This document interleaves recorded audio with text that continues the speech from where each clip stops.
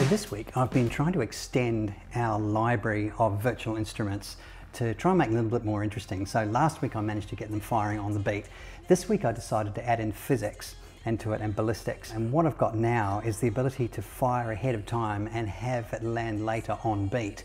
So it's a bit of complicated equations and calculations that go into it because I need to know when it should be landing and then backwards calculate everything from there, knowing the flight time and the drop of, of a, a, ball, you know, with gravity and all that kind of stuff in order to know exactly when the machine needs to fire it so that it'll hit the drum in time. But it all works, which is fantastic. So uh, I've got a little demo here and I'll take you through and show you how it works. So this is Unreal. We've got a few components here. We've got our, our drum launcher, which is basically the, this is firing the projectiles out and then we have a number of drums kind of scattered around. We've got a kick drum and a snare drum together up here.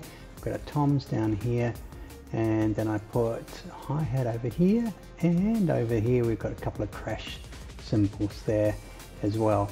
So behind the scenes running all this we've got some C++ code and so this does all the ballistics calculations here per kind of drum hit and works out exactly where it's got to where it's got to go and then it sends it out to our various different drums and each of these drums are set to respond on a, a different note so we have an overall controller that is sending out the information and it says there's a note coming up and then it sends it out to our drum launcher and our drum launcher knows when it's going to be due and then fires it ahead of time. It moves to position and fires ahead of time. And it can move pretty quickly. So this is actually able to hit all these drums by itself, you know, with just one little muzzle here. We could speed it up as well. It'll be totally fine. We'll handle it.